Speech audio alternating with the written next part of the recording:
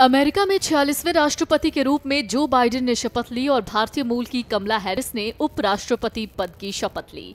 कामकाज संभालने के बाद ही बाइडेन एक्शन में आ गए और कई ऐसे फैसलों पर साइन कर दिया जिनकी लंबे समय से मांग चल रही थी। यानी, कुल मिलाकर कहें तो बाइडेन ने ट्रंप के बहुत सारे फैसले पलट दिए हैं।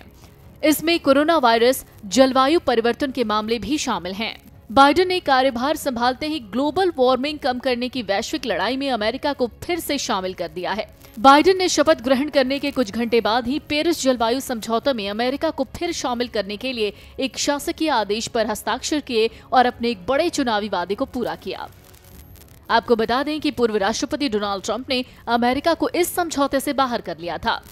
इतना ही नहीं, जो बाइडेन ने कहा कि 100 दिनों तक मास्क ज़रूर लगाएँ। अमेरिकी राष्ट्रपति जो बाइडेन ने दोबारा डब्ल्यूएचओ में शामिल होने का फैसला किया है। कोरोना संकट के दौरान तत्कालीन राष्ट्रपति ट्रंप ने डब्ल्यूएचओ से हटने का फैसला लिया था। बाइडेन ने मैक्सिको से लगी सीमा पर आपातकाल की घोषणा को भी वापस ले लिया है। इसके अलावा सीमा पर दीवार बनाने के फैसले और फंडिंग को भी रोक दिया है। अमेरिकी राष्ट्रपति जो बाइडेन ने ट्रंप के जिन फैसलों को बदला है, उसमें मुस्लिम देशों पर लगाए गए आवर्जन के बैन को हटाना भी शामिल है।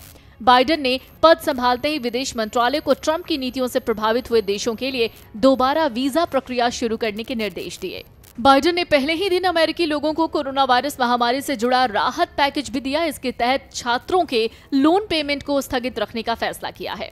तो शपथ ग्रहण के बाद जो बाइडेन के ये वो फैसले हैं, जिन फैसलों पर कभी ट्रंप ने रोक लगा दी थी। Video desk Amar Ujala dot com.